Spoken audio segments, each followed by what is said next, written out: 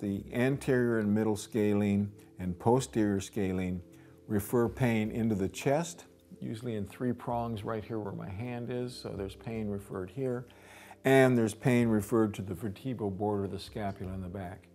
So sometimes beginning body workers rub that area really hard and prolong because there's pain there, but it's referred pain and working the referral does not help get rid of the pain because it's not the problem, it's just a result of the problem.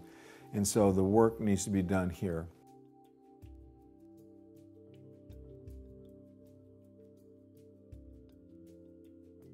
The thoracic outlet syndrome can actually come from the anterior and middle scalene, where the brachial plexus comes out between those two nerves, goes underneath the clavicle, underneath the pec minor, and then down into the arm. And thoracic outlet syndrome has a very poor surgical rate. Many people that I've talked with have stopped doing the surgery because it doesn't work very well. Often people are looking for a um, extra cervical rib, a cartilaginous rib that exists there, but that isn't the cause necessarily either.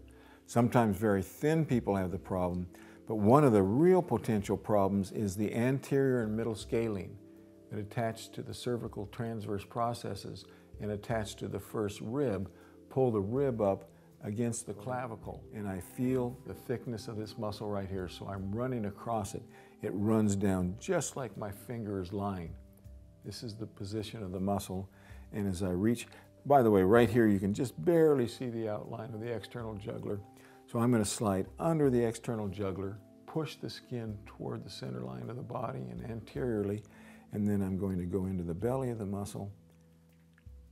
Sometimes you'll feel lymph nodes here, and uh, don't push on them too hard, particularly if they're inflamed.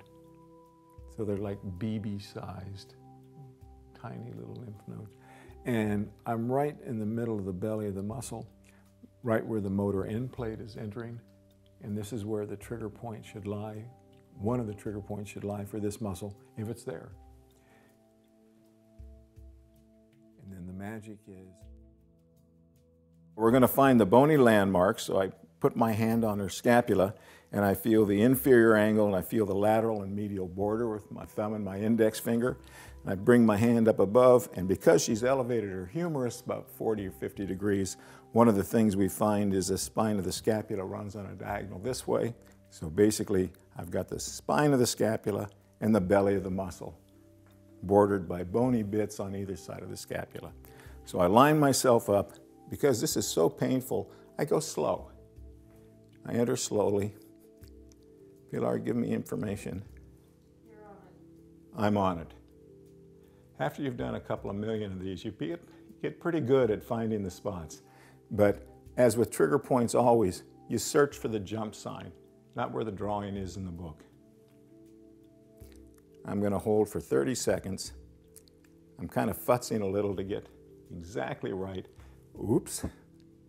Pilar just contracted against it. What, again, she is. This is called a local twitch response.